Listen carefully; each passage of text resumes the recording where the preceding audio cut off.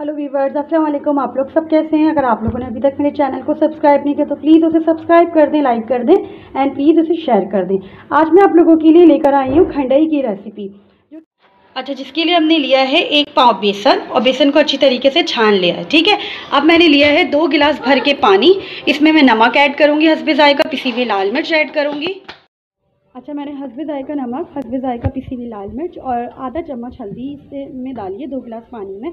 अब इसको इतना पकाना है कि ये एक गिलास रह जाए, फिर मैं आपको नेक्स्ट स्टेप बताती हूँ, ठीक है?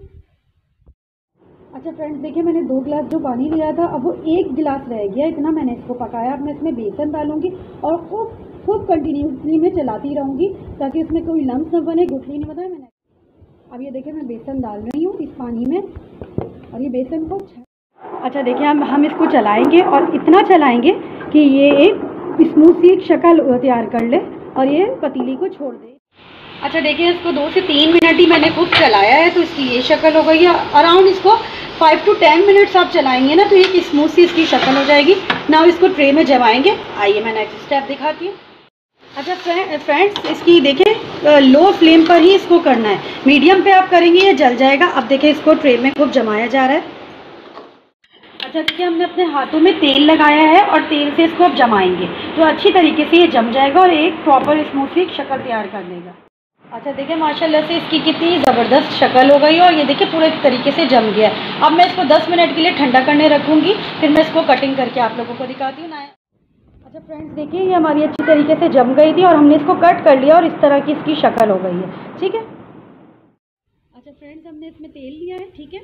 फिर हमने इसमें थोड़ा ज़ीरा लिया है, आधा चम्मच, और ज़ीरा को थोड़ा सा कड़कड़ाएँगे। फिर इसमें मसाला डालेंगे हमने ये टमाटर प्याज और सूखी मेथी को पीस लिया है। अच्छा फ्रेंड्स, देखें, अब हमने इसको अच्छी तरीके से पहले भून लेंगे, ठीक है? इसमें फिर स्पाइस ऐड करेंगे। स्पाइस आप लोग देख लीजिए, नमक लिया हसबे जायका, एक खाने का चम्मच भर के हमने लिया पिसी हुई लाल मिर्च, आधा चम्मच गरम मसाला और आधा ही चम्मच हल्दी है। ये डाल के खूब अच्छी तरीके से इसकी बुनाई करेंगे। नाउ टाइम टू भुनाई। तो इसको अच्छी तरीके से भुनाई करेंगे, तेल ऊपर आ जाए देन फिर हम इसमें ये खंडई ऐड कर देंगे बेसन की जो हमने बनाई है। अच्छा फ्रेंड्स अब देखें सालन हमारा खूब अच्छी तरीके से भुन गया था। फिर मैंने इसमें एक गिलास भर के पानी डाला। नेक्स्ट मैंने इसमें खंडियाँ डाल दी बेसन की, ठीक है? अब अब इसको इतना पकाएँ, उबाल आने तक अब इसको रखें, फिर इसके बाद इसमें ढकना ढक दीजिए।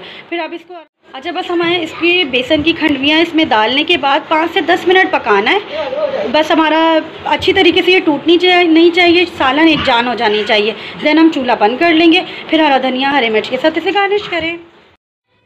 देखिए फ्रेंड्स हमारी ये खंडवियाँ रेडी हैं और बहुत लजीज लग रही हैं और इसका माशाल्लाह कलर देखें, बहुत ज़्यादा अच्छा है। प्लीज़ मेरी इस रेसिपी को ट्राई करेगा और बताएगा कैसी लगी। मेरे चैनल को लाइक सब्सक्राइब और शेयर कर दें। अल्लाह हाफिज़।